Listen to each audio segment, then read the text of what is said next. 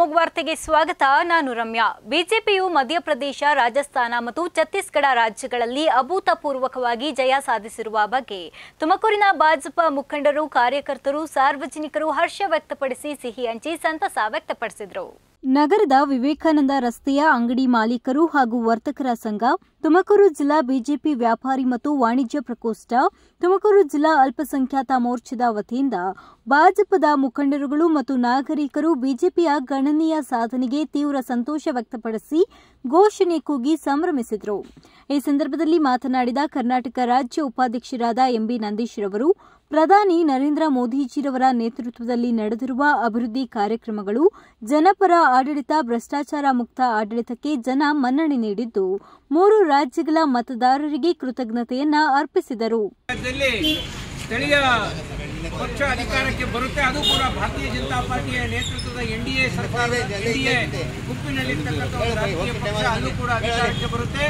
ಈ ವಿಜಯ ನರೇಂದ್ರ ಮೋದಿ ಅವರಿಗೆ ಹಾಗೂ ಇದಕ್ಕೆ ಬೆಂಬಲಿಸಿದ ಎಲ್ಲ ಕಾರ್ಯಕರ್ತರಿಗೆ ಸಲ್ಲುತ್ತೆ. ಭಾರತೀಯ ಜನತಾ ಪಾರ್ಟಿ ತುಮಕೂರು ಹಾಗೂ ವರ್ತಕರ ಪ್ರಕೋಷ್ಠ ವಿವೇಕಾನಂದ ರಸ್ತೆಯ ವರ್ತಕರ ಸಂಘ, ಈ ಎಲ್ಲರೂ ಕೂಡ ನರೇಂದ್ರ ಮೋದಿ ಅವರಿಗೆ ಹಾಗೆ ಭಾರತೀಯ ಜನತಾ ಪಾರ್ಟಿಯ ಆ ಮೂರು ರಾಜ್ಯಗಳ ಕಾರ್ಯಕರ್ತರಿಗೆ ಅಭಿನಂದನೆಯನ್ನು ಸಲ್ಲಿಸುತ್ತೆ.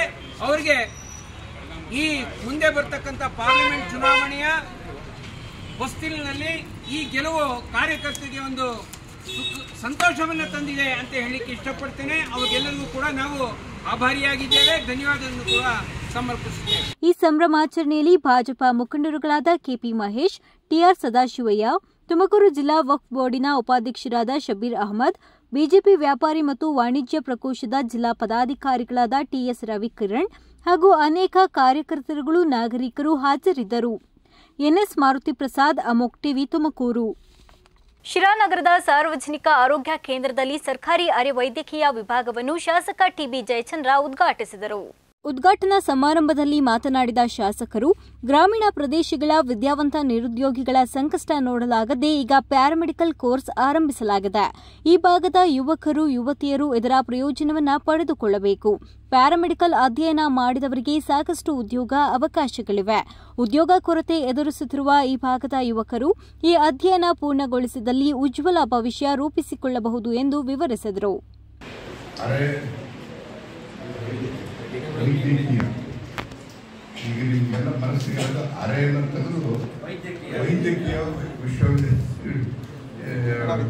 ಮಹಾವಿದ್ಯಾಲಯ. ಮಾಡಬೇಕು ಅಂತಕ್ಕಂಥದ್ದು ನಿಮ್ಮ ಗುರಿ ಅದು ನಾನು ಭಾಳ ದಿವಸದಲ್ಲೂ ಕೂಡ ನಾನು ನನ್ನ ಮನಸ್ಸಲ್ಲಿ ಇಟ್ಕೊಂಡಿದ್ದೇನೆ. ಅದಕ್ಕೋಸ್ಕರ ನಾನು ಔಷಧದಲ್ಲಿ ಸತ್ಯ ಹೇಳಿದ್ರು ತಪ್ಪಾಗಲಾರದು ನಾನು ಮಂತ್ರಿ ಆಗಿದ್ದಾಗ ಮೆಡಿಕಲ್ ಕಾಲೇಜಲ್ಲಿ ತುಮಕೂರಿಗೆ ಆಯಿತು ಮಂಜೂರಾಯಿತು ಮೆಡಿಕಲ್ ಕಾಲೇಜಿಗೆ ಇಪ್ಪತ್ತೈದು ಎಕರೆ ಜಾಗ ಬೇಕಾಯಿತು ಇಪ್ಪತ್ತೈದು ಜಾಗ ಉಳಿದ್ರೆ ಎಲ್ಲೂ ಸಿಗಲಿಲ್ಲ ನಮಗೆ. ಆಗ ನಾನು ಹೇಳಿದೆ, ನಮ್ಮಲ್ಲಿ ಬೇಕಾದಷ್ಟು ಖಾಸಗಿ ಮೆಡಿಕಲ್ ಕಾಲೇಜ್ ಇದ್ದಾವೆ. ಸರ್ಕಾರಿ ಕಾಲೇಜ್ ಇರೋದು ಬೇಡ ಮಾಡಿದ್ರೆ ಸೇರೋದಾರ ಮಾಡ್ಬೋದು ಐವತ್ತು ಎಕರೆ ಜಾಗ ಕೊಡ್ತೀನಿ ಅಂತಂದು ಹೇಳಿದೆ ನಾನು. ಆ- ಆ ಇದು ಕೂಡ ಅದೇ ರೀತಿಯಲ್ಲಿ ಮುಂದುವರಿತಾ ಬಹುಶಃ ಅದು ಮುಂದೆ ಏನಾಗ್ತದೆ ನೋಡೋಣ. ನನ್ನ ಗುರಿನೂ ಕೂಡ ಅದೇ ಇದೆ. ಯಾವುದೇ ರೀತಿಯೂ ಕೂಡ ಕೇವಲ ಮೆಡಿಕಲ್ ಕಾಲೇಜ್ ಮಾಡಬೇಕು ಅನ್ನೋದಕ್ಕಿಂತ ಹೆಚ್ಚಾಗಿ ಒಂದು ಮುಖ್ಯವಾಗಿ ನಾವು ರೂಪಾಯಿ ಮಾಡ್ಕೋಬೇಕಾಗಿರ್ತಕ್ಕಂಥದ್ದು ಇನ್ನೊಂದು super speciality hospital. Super speciality hospital ಅಂತಂದ್ರೆ ಮೆಡಿಕಲ್ ಕಾಲೇಜ್ ಇದ್ದಂಗೆ.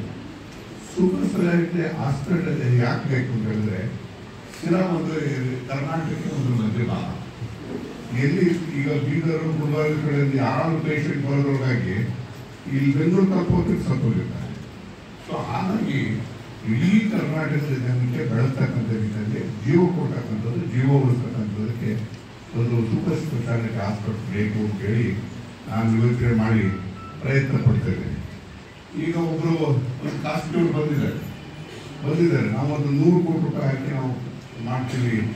ಐದು ಗಂಟೆ ಕಲ್ತ್ಕೊಂಡು ಬಂದಿದ್ದಾರೆ ಕಾರ್ಯಕ್ರಮದಲ್ಲಿ ಸಾರ್ವಜನಿಕ ಆರೋಗ್ಯ ಕೇಂದ್ರ ಆಡಳಿತ ಅಧಿಕಾರಿ ಡಾಕ್ಟರ್ ಶ್ರೀಕಾಂತ್, ತಾಲೂಕು ವೈದ್ಯ ಅಧಿಕಾರಿ ಡಾಕ್ಟರ್ ಸಿದ್ದೇಶ್ವರ್ ಮತ್ತು ರಾಮಕೃಷ್ಣ ನರ್ಸಿಂಗ್ ಶಾಲೆಯ ಮುಖ್ಯಸ್ಥ ಡಾಕ್ಟರ್ ರಾಮಕೃಷ್ಣಪ್ಪ, ನಗರಸಭೆ ಸದಸ್ಯೆ ಉಮಾ ಸೇರಿದಂತೆ ಸಾರ್ವಜನಿಕ ಆರೋಗ್ಯ ಕೇಂದ್ರದ ವೈದ್ಯರು, ಸಿಬ್ಬಂದಿ ವರ್ಗದವರು ಹಾಜರಿದ್ದರು.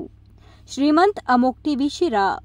ಶಿರಾನಗರದ ನಗರಸಭಾ ವಾಹನ ಚಾಲಕರು ಪೌರ ಕಾರ್ಮಿಕರಾಗಿ ಗುತ್ತಿಗೆ ಆಧಾರದ ಮೇಲೆ ಕಾರ್ಯನಿರ್ವಹಿಸುತ್ತಿದ್ದು, ರಾಜ್ಯಾದ್ಯಂತ ಕಾರ್ಯನಿರ್ವಹಿಸುತ್ತಿರುವ ಚಾಲಕರನ್ನ ಕಾಯಂಗೊಳಿಸುವಂತೆ ಸದನದಲ್ಲಿ ಧ್ವನಿ ಎತ್ತಲು ದೆಹಲಿ ವಿಶೇಷ ಪ್ರತಿನಿಧಿ ಶ್ರೀ ಟಿಬಿ ಜಯಚಂದ್ರ ಅವರಿಗೆ ಮನವಿ ಸಲ್ಲಿಸಲಾಯಿತು. ಕಳೆದ ಇಪ್ಪತ್ತು ವರ್ಷಗಳಿಂದ ಹೋರಾಟ ನಡೆಸುತ್ತಿದ್ದು, ಕನಿಷ್ಠ ವೇತನ, ಭವಿಷ್ಯ ನಿಧಿ, ಆರೋಗ್ಯ ವಿಮೆ, ಮಕ್ಕಳ ಶಿಕ್ಷಣ, ಉದ್ಯೋಗ ಭದ್ರತೆ ಹಾಗೂ ಮೂಲಭೂತ ಸೌಲಭ್ಯಗಳಿಂದ ವಂಚನೆಗೆ ಒಳಗಾಗುತ್ತಿದ್ದಾರೆ. ಹಿಂದಿನ ಮುಖ್ಯಮಂತ್ರಿಗಳಾಗಿದ್ದ ಬಸವರಾಜ ಬೊಮ್ಮಾಯಿ ಅವರು ಹಾಗೂ ಪ್ರಸ್ತುತ ಮುಖ್ಯಮಂತ್ರಿಗಳಾಗಿರುವ ಸಿದ್ದರಾಮಯ್ಯನವರು ಇಪ್ಪತ್ತೈದು ಸಾವಿರ ಪೌರ ಕಾರ್ಮಿಕರನ್ನ ಕಾಯಂಗೊಳಿಸುವ ಆಶ್ವಾಸನೆ ನೀಡಿದರು. ಆದರೆ ಆಶ್ವಾಸನೆಗಳು ಕಾರ್ಯಗತಕ್ಕೆ ಬರದೆ ರಾಜ್ಯ ಸರ್ಕಾರ ಹಾಗೂ ಅಧಿಕಾರಿಗಳು ಅನುಷ್ಠಾನಕ್ಕೆ ತರದೆ ನಿರ್ಲಕ್ಷ್ಯ ವಹಿಸಿದೆ ಎಂದು ಆರೋಪಿಸಿದರು. ಪ್ರಸ್ತುತ ಬೆಳಗಾವಿಯಲ್ಲಿ ನಡೆಯುವ ಅಧಿವೇಶನದಲ್ಲಿ ಚರ್ಚಿಸಿ ಎಲ್ಲ ಪೌರ ಕಾರ್ಮಿಕರನ್ನು ಒಂದೇ ಬಾರಿಗೆ ಕಾಯಂ ಮಾಡುವ ನಿರ್ಣಯ ಕೈಗೊಳ್ಳಬೇಕಂತ ಮನವಿ ಮಾಡಿ ಒತ್ತಾಯಿಸಿದರು.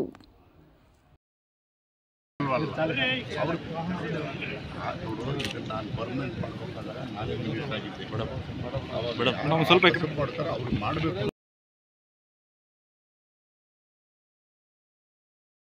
ಅಲ್ಲಪ್ಪ ನೀವು ಕೆಲಸ ಮಾಡೋದು ಅವ್ರ ಕೆಲಸ ವ್ಯತ್ಯಾಸ ಇದೆಯಲ್ಲ ಇರುತ್ತೆ ಇರ್ಬೋದು. ಅವರು ಜನತೆಯಿಂದ ಕೆಲಸ ಪಾಚವರು ಇದೇನಾದ್ರು ಇಲ್ವಲ್ಲ ಅವ್ರು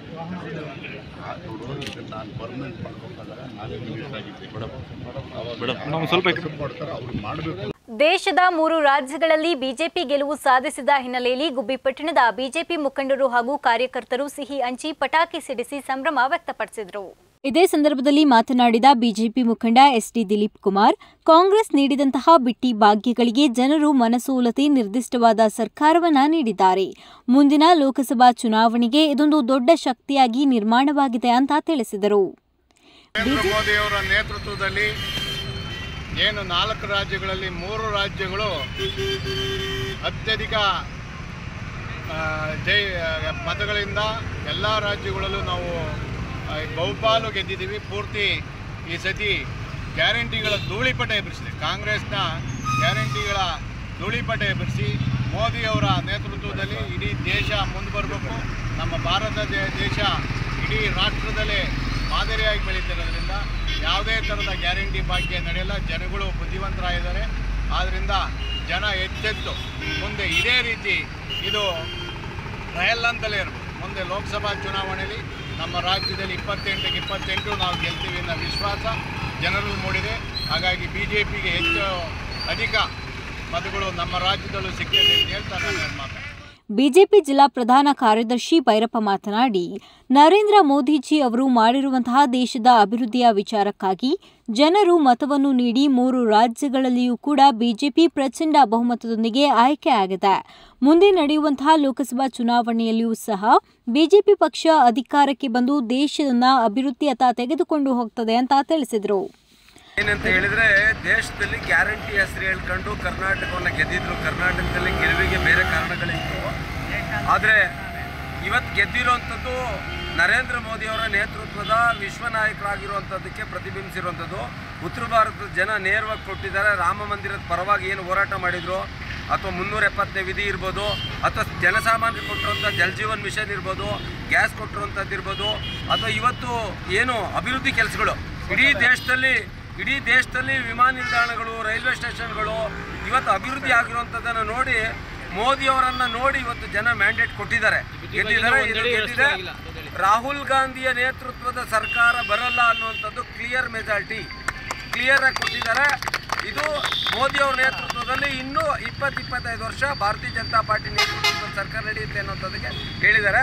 ಇವರು ಗ್ಯಾರಂಟಿ ಕೊಟ್ಟು ಇಲಿ ಹೊಡೆದ್ಬಿಟ್ಟು ನಾವು ಹೊಡೆದಿದ್ದೀವಿ ಹೊಡೆದಿದ್ದೀವಿ ಹೊಡೆದಿದ್ದೀವಿ ಅಂತ ಹೇಳ್ತಿದ್ರು ಕರ್ನಾಟಕವನ್ನು. ಅದು ಸುಳ್ಳು ಸುಳ್ಳು ಇದೇ ಸಂದರ್ಭದಲ್ಲಿ ಬಿಜೆಪಿ ತಾಲೂಕು ಕಾರ್ಯದರ್ಶಿ ಯತೀಶ್ ಪಟ್ಟಣ ಪಂಚಾಯಿತಿ ಮಾಜಿ ಅಧ್ಯಕ್ಷ ಅಣ್ಣಪ್ಪಸ್ವಾಮಿ, ಸದಸ್ಯರಾದ ಶಿವಕುಮಾರ್, ಪ್ರಕಾಶ್, ಬಸವರಾಜು, ಲಕ್ಷ್ಮೀರಂಗಯ್ಯ ಸೇರಿದಂತೆ ಹಲವು ಮುಖಂಡರು ಭಾಗಿಯಾಗಿದ್ದರು. ಪ್ರಸನ್ನ ದೊಡ್ಗುಣಿ, ಅಮೋಕ್ ಟಿವಿ ಗುಬ್ಬಿ ಕೋಚಿಮಲ್ ಒಕ್ಕೂಟ ಹಾಲಿನ ದರವನ್ನ ಒಂದು ರು ಕಡಿತಗೊಳಿಸಿರುವುದನ್ನು ಖಂಡಿಸಿ ಗೌರಿಬಿದನೂರು ತಾಲೂಕು ರೈತ ಸಂಘ ನೇತೃತ್ವದಲ್ಲಿ ರೈತರು ಹಾಗೂ ಹಾಲು ಉತ್ಪಾದಕರು ಪ್ರತಿಭಟಿಸಿದರು. ರೈತ ಸಂಘ ಹಾಗೂ ಹಾಲು ಉತ್ಪಾದಕರ ಸಹಕಾರ ಸಂಘದ ನೇತೃತ್ವದಲ್ಲಿ ನಗರದ ಬೆಂಗಳೂರು ರಸ್ತೆಯಲ್ಲಿರುವ ಕೋಚಿಮುಲ್ನ ಶಿಥಿಲೀಕರಣ ಕೇಂದ್ರದ ಬಳಿ ಪ್ರತಿಭಟನೆ ನಡೆಸಲಾಯಿತು. ರೈತ ಸಂಘದ ಜಿಲ್ಲಾಧ್ಯಕ್ಷ ಎಂಆರ್ ಲಕ್ಷ್ಮೀನಾರಾಯಣ್ ಮಾತನಾಡಿ, ಈಗಾಗಲೇ ಬರದಿಂದ ರೈತರು ತತ್ತರಿಸಿ ಹೋಗಿದ್ದಾರೆ. ಸರ್ಕಾರವೇ ಬರ ಘೋಷಣೆ ಮಾಡಿದೆ. ರಾಸುಗಳಿಗೆ ಮೇವಿನ ಅಭಾವ ಎದುರಾಗದ. ಕೋಲಾರ ಚಿಕ್ಕಬಳ್ಳಾಪುರ ರೈತರು ಹೈನೋದ್ಯಮವನ್ನು ಉಪಕಸುಬನ್ನಾಗಿ ಮಾಡಿಕೊಂಡು ಬರುತ್ತಿದ್ದಾರೆ. ಆದರೆ ಬರದ ನಡುವೆಯೇ ಹಾಲಿನ ದರ ಕಡಿತಗೊಳಿಸುವ ಮೂಲಕ ರೈತರನ್ನು ಬಾಣಲಿಯಿಂದ ಬೆಂಕಿಗೆ ದುಡುವ ಕೆಲಸವನ್ನ ಕೋಚಿಮಿಲ್ ಮಾಡುತ್ತಿದೆ ಅಂತ ಆಕ್ರೋಶ ವ್ಯಕ್ತಪಡಿಸಿದರು. ದಿವಸ ನಾವು ಒಂದು ರೂಪಾಯಿ ಕಮ್ಮಿ ಆಗಿದ್ದಕ್ಕೋಸ್ಕರ ನಾವು ಪ್ರತಿಭಟನೆ ಮಾಡಿದ್ದೀವಿ. ಈ ಪ್ರತಿಭಟನೆಯಿಂದ ಅವ್ರು ಕೊಡುವಂಥ ಏನು ಬೇರೆ ಬೇರೆ ಅವರು ಬೇರೆ ಇಂಪ್ರೂವ್ಮೆಂಟ್ ಮಾಡ್ತೀವಿ ಸೋಲಾರ್ ಪ್ಲ್ಯಾಂಟ್ ಮಾಡ್ತೀವಿ ಆಮೇಲೆ ಗೋಲ್ಡನ್ ಡೈರಿ ಮಾಡ್ತೀವಿ ಅನ್ನೋದು ಹೇಳ್ತಾ ಇದ್ದಾರೆ. ಅದಕ್ಕೋಸ್ಕರ ಮುನ್ನೂರು ಚಿಲ್ಲರೆ ಕೋಟಿ ಬೇಕು ಅಂತ. ಆ ಕೋಟಿಗೆ, ಆ ಡೆವಲಪ್ಮೆಂಟ್ಗೆ ರೈತನ ಆ ಉಪವಾಸ ಇಟ್ಟು ಅವರು ಅಲ್ಲೇ ಡೆವಲಪ್ಮೆಂಟ್ ಮಾಡೋದು ನಮಗೆ ಬೇರೆ ವಿಧದಲ್ಲಿ ಮಾಡ್ಕೋಬೋದು ಅವರು. ಬಿಸ್ನೆಸ್ ಸ್ಟಾರ್ಟ್ ಮಾಡಬೇಕಾಗಿದ್ದರೆ ಬೇರೆ ಕಡೆಯಿಂದ ಸಾಲನೋ ಇನ್ನೊಂದೋ ಮತ್ತೊಂದೋ ತಂದು ಅದನ್ನು ಇಂಪ್ರೂವ್ಮೆಂಟ್ ಮಾಡಿ, ಅದರಲ್ಲಿ ಲಾಭ ಮಾಡಿಕೊಂಡು ಅದನ್ನು ಲಾಭನ ರೈತರಿಗೆ ಹಂಚೋದು ನೋಡಿದ್ದೀವಿ. ರೈತನ ಹೊಟ್ಟೆ ಹೊಡೆದು ನಾವು ಲಾಭ ಮಾಡ್ತೀವಿ ಅಂದರೆ ಇದಕ್ಕೆ ನಾವು ಒಪ್ಪೋದಿಲ್ಲ. ಇವ್ರು ಕೊಡೋ ಆನ್ಸರ್ ಏನಿದೆ, ಅದು ತರ್ಕವಾಗಿಲ್ಲ ಇದು. ನಮ್ಗೆ ಸಮಾಧಾನನೂ ತಂದಿಲ್ಲ. ಇದು ರೈತ ವಿರೋಧಿ ಕೃತ್ಯ ಇದು. ನಾವು ಖಂಡಿಸ್ತೀವಿ. ನಮ್ಮ ಪ್ರತಿಭಟನೆ ಹತ್ತೊಂಬತ್ತನೇ ತಾರೀಕು ಅಲ್ಲೇ ಅವರ ಒಂದು ಕಾರ್ಯಕ್ಷೇತ್ರದಲ್ಲೇ ನಾವು ಅಲ್ಲೇ ಮಾಡ್ತೀವಿ ಅಂತ ಈ ಮೂಲಕ ಅವ್ರನ್ನ ಎಚ್ಚರಿಸ್ತಾ ಇದ್ದೀವಿ. ಮನವಿ ಪತ್ರವನ್ನು ಸ್ವೀಕರಿಸಿದ ಒಕ್ಕೂಟದ ನಿರ್ದೇಶಕ ಜೆ ಕಾಂತರಾಜು ಮಾತನಾಡಿ, ಹಾಲಿನ ದರ ಕಡಿತ ಮಾಡಿರುವ ಕ್ರಮ ಸರಿಯಲ್ಲ. ಈ ಬಗ್ಗೆ ಒಕ್ಕೂಟದ ಸಭೆಯಲ್ಲಿ ಚರ್ಚಿಸಿ ಬೆಲೆ ಏರಿಕೆ ಮಾಡುವ ಬಗ್ಗೆ ಭರವಸೆ ವ್ಯಕ್ತಪಡಿಸಿದರು. ಪ್ರತಿಭಟನೆಯಲ್ಲಿ ರೈತ ಸಂಘದ ಮುದ್ದುರಂಗಪ್ಪ, ಮುನಿ ವೆಂಕಟಪ್ಪ, ಶಶಿಕುಮಾರ್, ತೊಂಡೇಬಾವಿ ಸುರೇಶ್ ರೆಡ್ಡಿ, ಗೋಪಿ, ಶ್ರೀನಿವಾಸ್ ಹಾಗೂ ಇತರರು ಹಾಜರಿದ್ದರು. ಆರ್ ಮಂಜುನಾಥ್, ಅಮೋಕ್ ಟಿವಿ, ಗೌರಿಬಿದನೂರು. ಗೌರಿಬಿದನೂರು ನಗರ ವ್ಯಾಪ್ತಿಯ ಕಲ್ಲುಡಿ ಕೆರೆಯಲ್ಲಿ ನಮ್ಮ ಊರು, ನಮ್ಮ ಕೆರೆ ಅಭಿವೃದ್ಧಿ ಎಂಬ ಕಾರ್ಯಕ್ರಮವನ್ನು ಕೆಎಚ್ಪಿ ಫೌಂಡೇಶನ್ ವ್ಯವಸ್ಥಾಪಕರಾದ ಶ್ರೀನಿವಾಸ್ ಚಾಲನೆ ನೀಡಿದರು. ಕಾರ್ಯಕ್ರಮಕ್ಕೆ ಚಾಲನೆ ನೀಡಿ ಮಾತನಾಡಿದ ಕೆಎಚ್ಪಿ ಫೌಂಡೇಶನ್ ವ್ಯವಸ್ಥಾಪಕ ಶ್ರೀನಿವಾಸ್ ಶ್ರೀ ಕ್ಷೇತ್ರ ಧರ್ಮಸ್ಥಳ ಗ್ರಾಮಾಭಿವೃದ್ಧಿ ಟ್ರಸ್ಟ್ ವತಿಯಿಂದ ಹಲವಾರು ಜನಪರ ಕಾರ್ಯಕ್ರಮಗಳನ್ನು ಹಮ್ಮಿಕೊಳ್ಳುವ ಮೂಲಕ ಸಮಾಜದ ಅಭಿವೃದ್ಧಿಗೆ ಶ್ರಮಿಸುತ್ತದೆ. ಧರ್ಮಸ್ಥಳ ಸಂಸ್ಥೆಯು ನೆಲ, ಜಲ, ಅಂಗವಿಕಲರಿಗೆ, ವಯೋವೃದ್ಧರಿಗೆ ಸೌಲಭ್ಯ, ಸ್ವಸಹಾಯ ಸಂಘಗಳು, ಶಾಲೆ, ದೇವಸ್ಥಾನಗಳ ಅಭಿವೃದ್ಧಿ ಸೇರಿದಂತೆ ಹತ್ತು ಹಲವಾರು ಕಾರ್ಯಕ್ರಮಗಳನ್ನು ಹಮ್ಮಿಕೊಳ್ಳುವ ಮೂಲಕ ಎರಡನೇ ಸರ್ಕಾರದ ರೀತಿಯಲ್ಲಿ ಕಾರ್ಯನಿರ್ವಹಿಸುತ್ತದೆ. ಕೆರೆಗಳನ್ನು ಅಭಿವೃದ್ಧಿಪಡಿಸಿ ಮುಂದಿನ ಮಳೆಗಾಲದ ಸಮಯದಲ್ಲಿ ನೀರು ಸಂಗ್ರಹಣೆಯಾಗುವಂತೆ ಮಾಡಿರುವುದು ಸಾರ್ಥಕವಾದ ಕೆಲಸ ಅಂತ ತಿಳಿಸಿದರು. ನಮ್ಮ ಧರ್ಮಸ್ಥಳ ಗ್ರಾಮಾಭಿವೃದ್ಧಿ ಯೋಜನೆ ಒಂದು ಎರಡನೇ ಸರ್ಕಾರ ಅಂತಲೇ ಹೇಳಬೇಕು. ಏಕೆಂದರೆ ಸಮಾಜದ ಏಳಿಗೆಗೆ ಎಲ್ಲ ರೀತಿಯ ಎಲ್ಲ ಮನುಷ್ಯ ತನ್ನ ಬದುಕಿನಲ್ಲಿ ಸ್ವಾವಲಂಬಿಯಾಗಿ ಬದುಕಬೇಕಾದ್ರೆ ಮತ್ತು ಈ ಒಂದು ನೇಚರ್, ಒಂದು ಏನು ಪ್ರಕೃತಿನ ಕಾಪಾಡಬೇಕು ಅಂತಂದರೆ ನೇರವಾಗಿ ದಿಟ್ಟವಾದ ಒಂದು ಗುರಿ ಇಟ್ಕೊಂಡು ಯಾವುದೇ ಥರದ ಒಂದು ವ್ಯತ್ಯಾಸ ಇಲ್ದಿರೇ ಪಾರದರ್ಶಕವಾಗಿ ಒಂದು ಏನಾದರೂ ಒಂದು ಸಮಾಜಕ್ಕೆ ಸೇವೆ ಸಲ್ಲಿಸ್ತಾ ಇದೆ ಅಂದರೆ, ಆ ಸಂಸ್ಥೆ ಅಂದರೆ ಅದು ಧರ್ಮಸ್ಥಳ ಗ್ರಾಮಾಭಿವೃದ್ಧಿ ಸಂಸ್ಥೆ ಒಂದೇ ಅಂತೇಳಿ ನಾನು ಹೇಳಲಿಕ್ಕೆ ಬಯಸ್ತಾ ಇದ್ದೀನಿ. ಯಾಕಂತಂದರೆ, ಒಂದು ಯಾವುದೇ ಒಂದು ಕಾರ್ಯಕ್ರಮನ ಕೇಂದ್ರ ಕಚೇರಿಯಿಂದ ಒಂದು ಘೋಷಣೆ ಕೊಟ್ಟರೆ ಒಂದು ಆಗಬೇಕು ಅಂತ ಹೇಳಿ ಏನಾದರೂ ಅನುಮತಿ ನೀಡಿದ್ದೇ ಆಯಿತು ಅಂದರೆ, ಅದು ಕೊನೆ ತನಕ ತಲುಪಬೇಕಾದ್ರೆ ಎಲ್ಲೂ ಒಂದು ಸಣ್ಣ ವ್ಯತ್ಯಾಸ, ಒಂದು ರೂಪಾಯಿ ಸಹ ವ್ಯತ್ಯಾಸ ಆಗದಂಗೆ ಆ ಕಾರ್ಯ ಸಂಪೂರ್ಣವಾಗಿ ಆಗಿದ್ದು ಅದು ಆಡಿಟಿಂಗ್ ಆಡಿಟಿಂಗ್ ಆಗಿ ಮತ್ತೆ ಆ ಒಂದು ಫೈಲ್ನ ಒಂದು ಏನಿದೆ ಅದನ್ನು ಅಲ್ಲಿವರೆಗೂ ಕೇಂದ್ರ ಕಚೇರಿಗೆ ತಲುಪಿಸೋ ತನಕ ಒಂದು ನಿರಾರ್ಥವಾಗಿ ಅಂದರೆ ಯಾವುದೇ ಥರದ ವ್ಯತ್ಯಾಸ ಇಲ್ಲದಂಗೆ ಆಗುವಂಥ ಸಂಸ್ಥೆ ಅದು ನಮ್ಮ ಧರ್ಮಸ್ಥಳ ಗ್ರಾಮಾಭಿವೃದ್ಧಿ ಸಂಸ್ಥೆ ಅಂತೇಳಿ ನಾವು ಬಯಸಬೇಕು. ಈ ಧರ್ಮಸ್ಥಳ ಗ್ರಾಮಾಭಿವೃದ್ಧಿ ಯೋಜನೆ ಯಾವುದೇ ಒಂದು ಒಂದು ಕಾರ್ಯಕ್ರಮ ಮಾಡ್ತಾ ಇಲ್ಲ. ನಮಗೆ ನೋಡಿ ಎಷ್ಟೋ ತುಂಬ ಕಡೆ ಅವಶ್ಯಕತೆ ಇರೋ ಕಡೆ ಕುಡಿಯೋ ನೀರು ಘಟಕ ಮಾಡಿ ಅದಕ್ಕೆ ಇವ್ರದೇ ಆದಂಥ ಒಂದು ವ್ಯವಸ್ಥೆನ ಮಾಡಿಕೊಡ್ತಾ ಇದ್ದಾರೆ. ಒಂದು ದೇವಸ್ಥಾನ ಒಂದು ಯಾವುದೇ ಒಂದು ಹಳ್ಳಿನಲ್ಲಿ ಡೈರಿ ವ್ಯವಸ್ಥೆ ಡೈರಿ ಕಟ್ತಾ ಇದ್ದೀವಿ.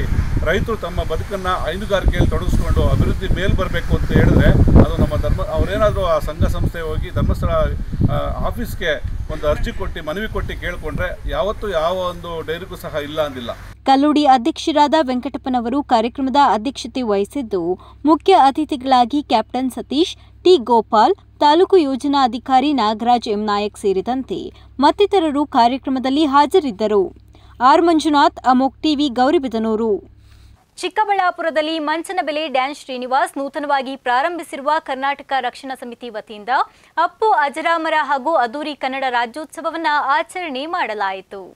ಆಂಧ್ರ ಗಡಿ ಹಂಚಿಕೊಂಡಿರೋ ಚಿಕ್ಕಬಳ್ಳಾಪುರ ಜಿಲ್ಲೆಯಲ್ಲಿ ಕನ್ನಡವನ್ನು ಉಳಿಸಬೇಕು, ಬಳಸಬೇಕು ಎನ್ನುವ ಸದುದ್ದೇಶದಿಂದ ಮಂಚನಬೆಲೆ ಡ್ಯಾನ್ಸ್ ಶ್ರೀನಿವಾಸ್ ಇತ್ತೀಚೆಗೆ ನೂತನವಾಗಿ ಕರ್ನಾಟಕ ರಕ್ಷಣಾ ಸಮಿತಿ ಸ್ಥಾಪನೆ ಮಾಡಿದ್ದು. ಇಂದು ಅದ್ದೂರಿಯಾಗಿ ಕನ್ನಡ ರಾಜ್ಯೋತ್ಸವ ಕಾರ್ಯಕ್ರಮ ಹಮ್ಮಿಕೊಳ್ಳಲಾಗಿದೆ ಅಂತ ಕಾರ್ಯಕ್ರಮದ ಕುರಿತು ಜೈ ಫೌಂಡೇಶನ್ ಅಧ್ಯಕ್ಷ ಜಯಕುಮಾರ್ ಮಾತನಾಡಿದರು.